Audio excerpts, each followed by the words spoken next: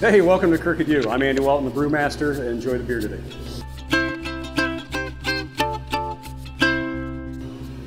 My partner's a bagpiper, and there's a song that he plays often called the Ewe with the Crooked Horn, I think.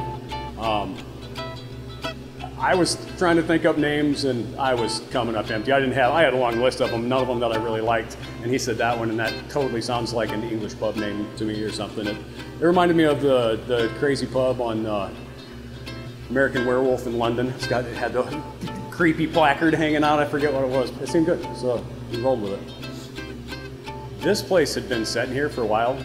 It looked like a weird house on the hill sitting next to a weird basement or something. It's, it was hideous. So we didn't really pay much attention to it. Um, South Bend historically has way underutilized the river. There's lots of space, but nobody does anything with it. So I always thought that was kind of lame. So I had the little, it's on the river in the back of my head. So we set up another appointment. I think that was the walkthrough where there were like waterfalls coming through the ceiling. It was awesome. Since the building was so trashed, we got it for really, really cheap. But naturally, had to I spent a couple bucks on it to get it where it's at now. It's been a Legion Hall or VFW for like the last hundred years. The bar rail on the bar is from the old, the old bar. I salvaged it and put it back. Lots of good juju on there, you know. I figured I'd put that back in there. It would be good.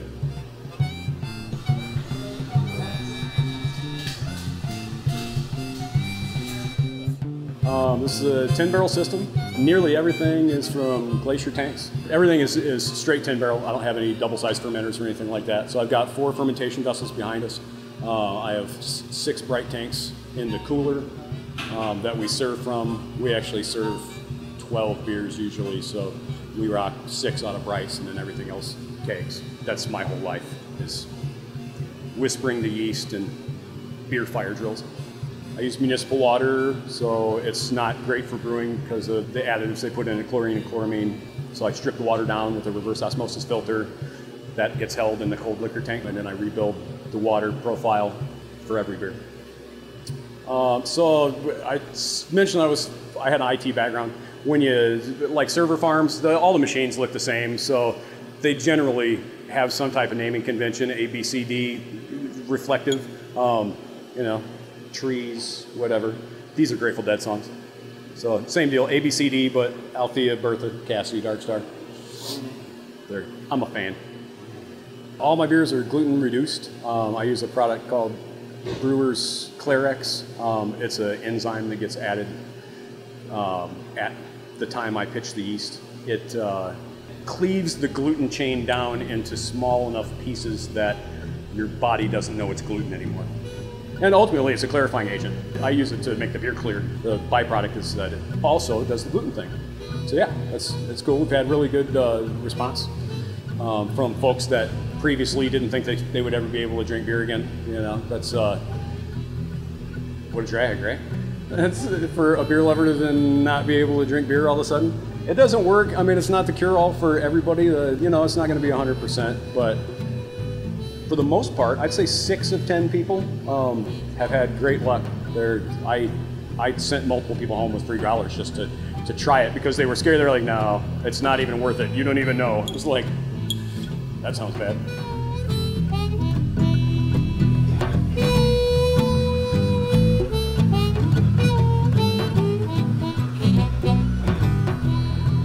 Butcher Scotch Ale has been uh, a huge seller. Took bronze at the World Beer Cup this year, which is awesome. There, that was totally unexpected. I mean, I entered, so I was hopeful, but you know, that's one of those things I didn't really expect to pull anything. It's in our first year. We weren't even open a year when we got the award. Um, but yeah, that's a great seller. Uh, Turtle Tamer, all the IPAs, the double IPAs. Uh, more of a West Coast style IPA. Um, it's it's bigger. The hops are more punchy. It's pine, kind of a little more dank delicious. Um, Vital IPA is more of a Midwest style IPA where it's not quite so hot punchy. Um, it's all Centennial. Wampus Monster, the double IPA. Uh, I can't. Another one I can't make enough of. It's they, it gets burned up always. It's a big Citra mosaic hop feature. That's we sell Zen Cafe coffee in here. That's all the all the coffee that we use. And when I use coffee in a beer, I try to use uh, Sean's coffee. The Product is outstanding. Um, you know, he's a, a local roaster. They're in the same space as a local chocolater, chocolatier. That's is it? Chocolate guy. Um, they're for Violet Sky chocolate, so I use Hans's chocolate in my beers whenever I can, and uh, no, it's good. I try to, you know, if I can, if I can pull it off with local love, then I will. I don't make much of an attempt to do my beer stuff related to the food. The executive chef Alain is a monster. I mean, I have a hard time ordering sometimes because, yeah, I want like five things. Uh, but yeah, everything's really good. The burger's killer, the brisket's killer, this pastrami sandwich. Yeah, it's like I want to have private time with it. It's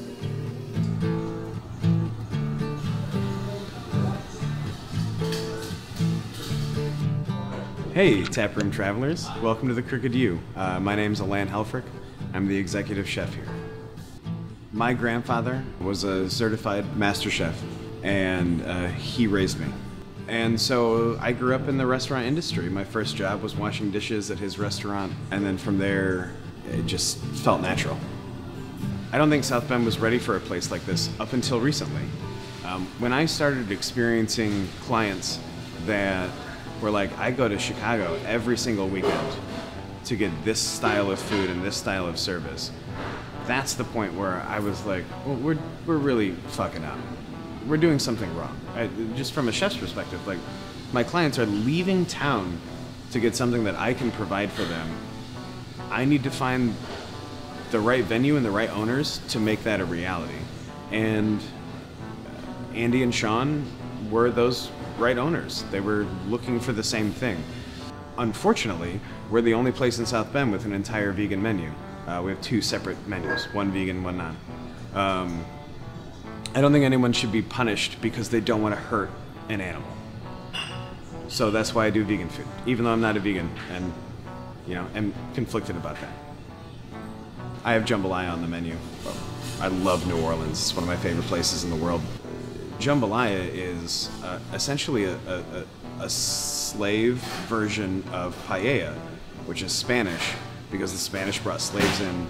They were given the poorer cuts of meat, and they knew the techniques of cooking paella from their Spanish owners, essentially. And then they used ingredients available. You know, they didn't have lemons, they had limes. They didn't have this, they had that. And it turned into this this fusion of food uh, between essentially African, uh, Spanish, and then with the ingredients from the United States. So it's, it's three cultures that got mixed into one dish, and it made this beautiful thing. That to me is fascinating.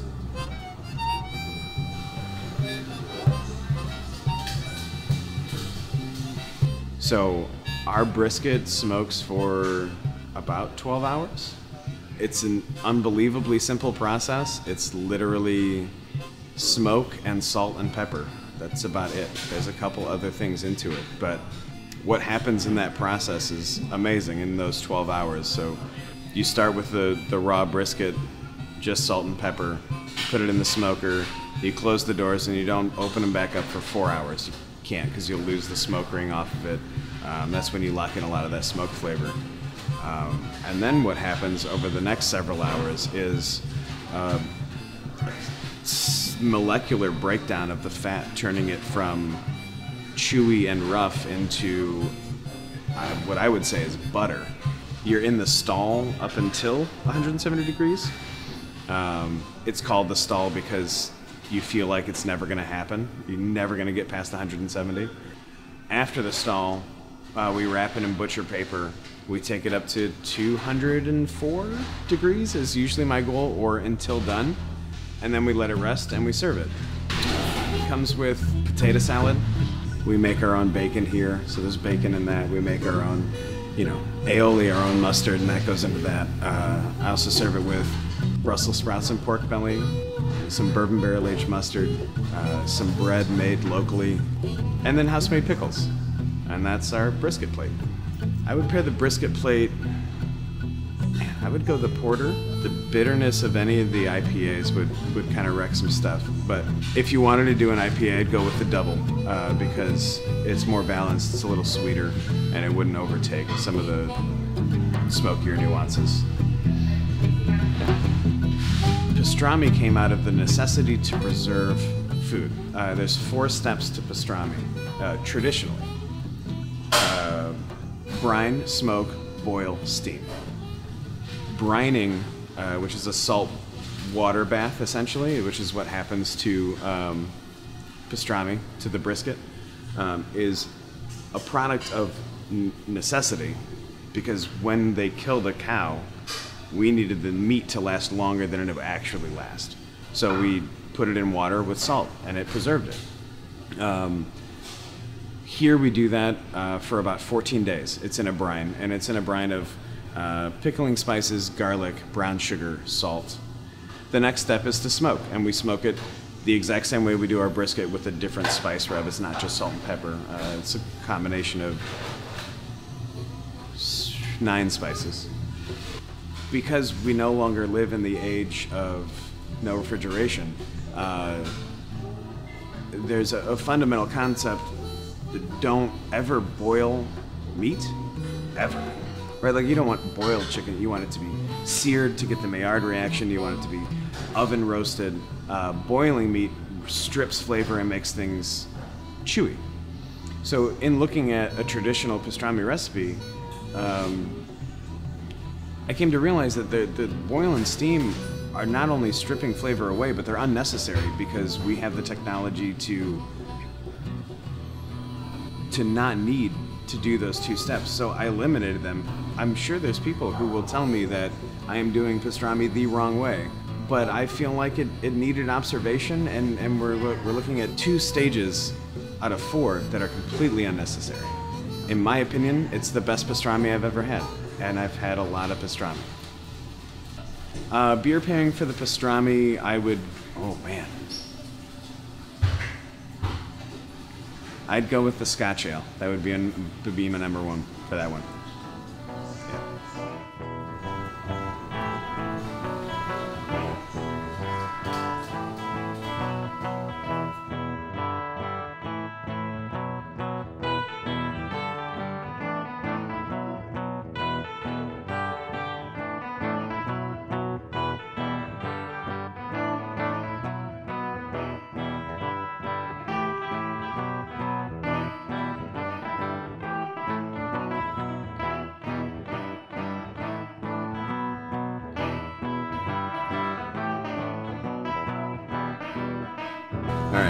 Thank you so much for coming in, and I hope to see all of you viewers here in the tap room drinking beer and eating my good food.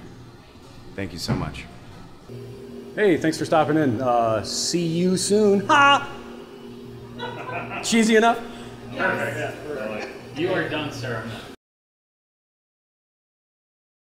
So it's just nice to get out into the community, talk to people, um, you know, just socialize with local farmers and just people in the community in general.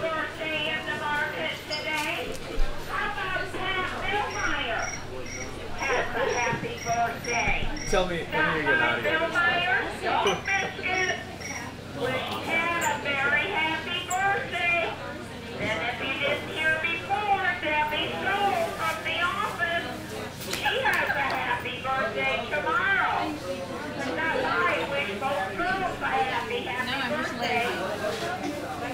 Hey everybody, thanks for watching. If you like what you saw, you can click down below where there's some more episodes for you to watch. And don't forget to like, comment, and subscribe on episodes that you do watch. We hope to see you next time.